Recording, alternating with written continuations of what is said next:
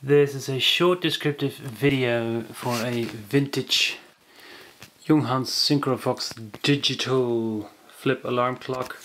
It's in two-tone, a bit of a beige uh, off-white color plus a very dark color. Um, obviously that's real glass. Um, it's in a very very nice condition. Um, hardly any wear and tear at all. Um, obviously it has a light on the inside. It has an alarm.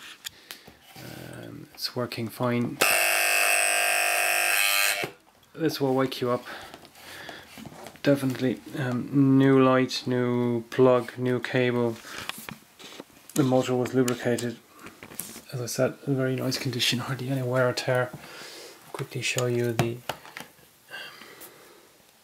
label on the bottom. That's it. Thank you for watching.